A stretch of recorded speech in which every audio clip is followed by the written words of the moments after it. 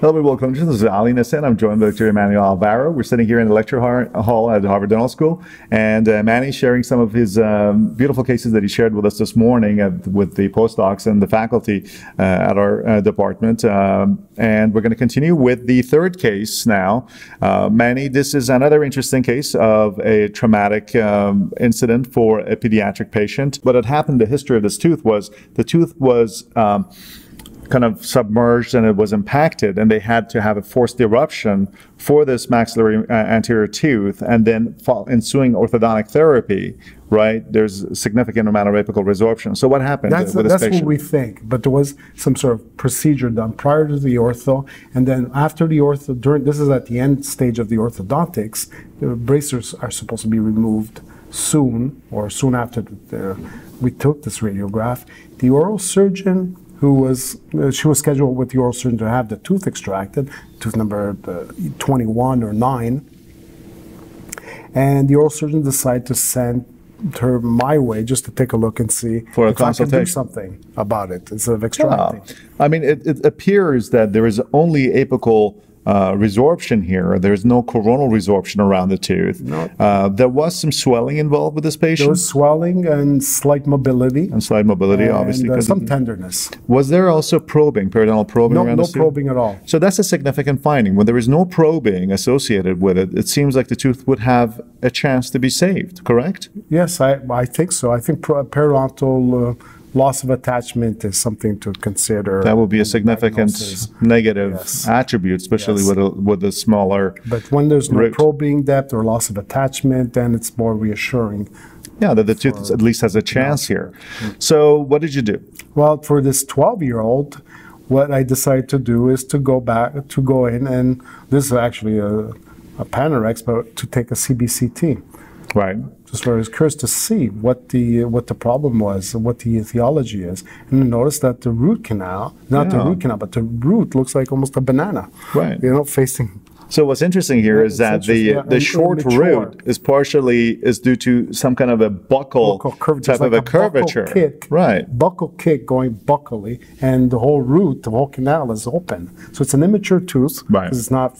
This is not an incisor of a 12-year-old, and it's buckly, the curving buckly. So it's actually the apex is looking at us. There's an apical the hook towards the uh, the buccal. You see that sometimes with canine teeth, actually, maxillary canines that have that buccal kind of a hook. or a Um, premo, or uh, upper molars, Right. palatal root. And there may have been a function, that formation may have been in this tooth because this tooth had some forced eruption Some- historically. something- something so happened that may have actually caused that. And do you feel also that may have been caused due to the fact that the, now you have a buccal perforation through the root and they may have, have Well, been a part of the- the devitalization factors? I'm not sure. Yeah, I'm not we sure. don't know. I mean, we don't know. But it was this point. necrotic, infected, and uh, Right. when I saw this CBCT, I was reassured. Mm-hmm. That allowed me to go ahead and go into more of the root canal endodontic route Right. instead of sending her back to my the referring oral surgeon and send her back. Well, Yeah, so certainly at this point. Again, the absence of periodontal probing is a significant factor. The tooth has a chance if we can decontaminate it Mm-hmm. And it's not resorption, it's just the appearance, the radiographic appearance of the periapical. But the CBCT is showing us the real story. Right, It's right. not resorption, it's just the way the root is curved. Okay, terrific. So what did you do? You did, So what I did, I cleaned right? with passive instrumentation because there's not much. Uh, the canal, the roots have very Fairly large, are, yeah. are, are pretty large, and then sealed it with the uh, bioceramic putty.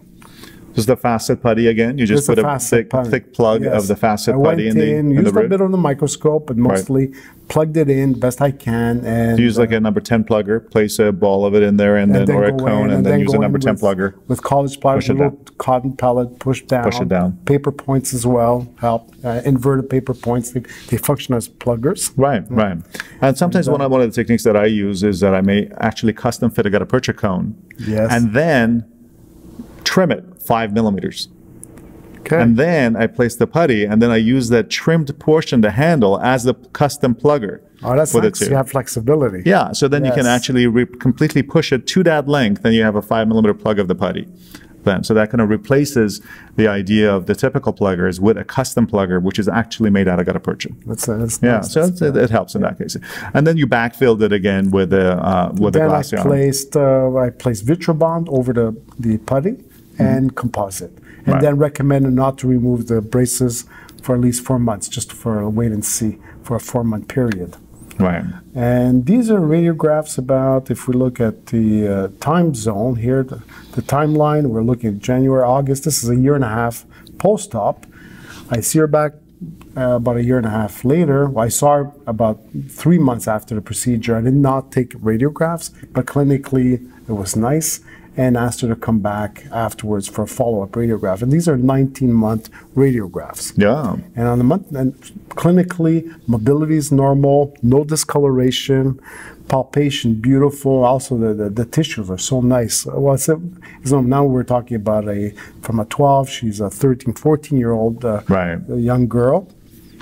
And I think at that point, you took a CBCT. Yeah, I took a CBCT. I just wanted to be sure, and they agreed for the uh, CBCT.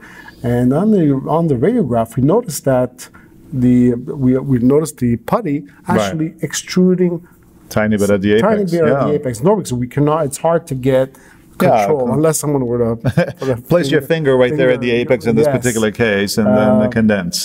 but it looks like it's it's condensed and there's tissue actually reattachment all around and the tissues right over that plug the soft tissues around over that plug Are doing you, you don't see it Yeah. you only notice it with the cbct Right.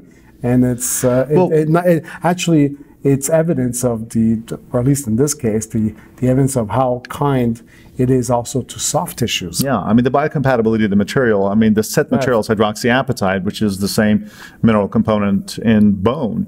So the biocompatibility studies by Dr. Kim and um, others at Penn um, on dogs have shown cementum growing right over this material when it's extruded. So the biocompatibility is, is incredible in that sense. So I think this is a, um, a very interesting case, and this is another one of those teeth that was referred for extraction, and we you managed to to save this tooth by basically applying some proper diagnostic judgment about the cause and the etiology of the problem, and addressing the etiology rather than merely, you know. Uh, addressing the manifestation by having a quick solution of extraction.